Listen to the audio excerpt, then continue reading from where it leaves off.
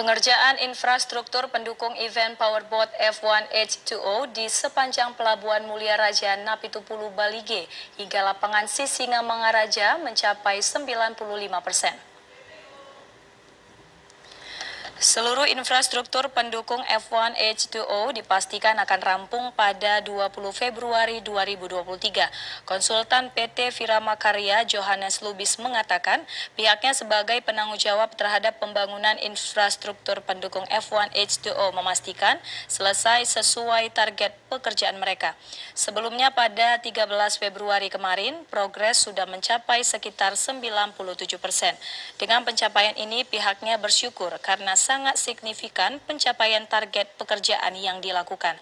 Johannes menambahkan selama pembangunan infrastruktur pendukung F1 H2O tidak mengalami kendala yang signifikan.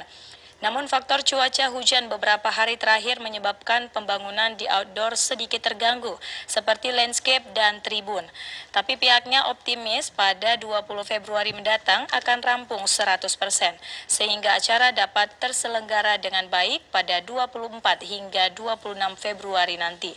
Saat ini infrastruktur pendukung F1 H2O yang belum rampung, salah satunya Sopo Batak tinggal finishing termasuk juga toilet yang masih ada perubahan, serta landscape berupa rumput dan bunga masih ada perpindahan. Sedangkan untuk tribun dan landscape dua hari ke depan akan selesai. Sementara itu lapangan Sisinga Mangaraja yang sebelumnya merupakan sarana olahraga menjadi venue F1 H 2O.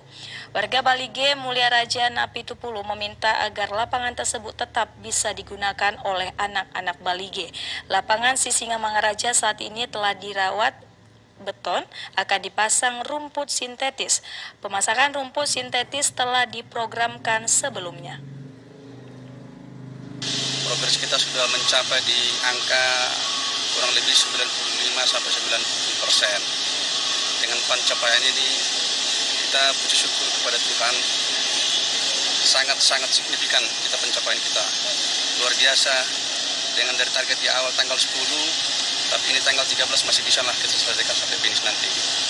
Kalau kendala sampai saat ini sudah tidak ada. Artinya sudah hampir finishing. Tinggal di cuaca aja sih masih terkendala cuaca.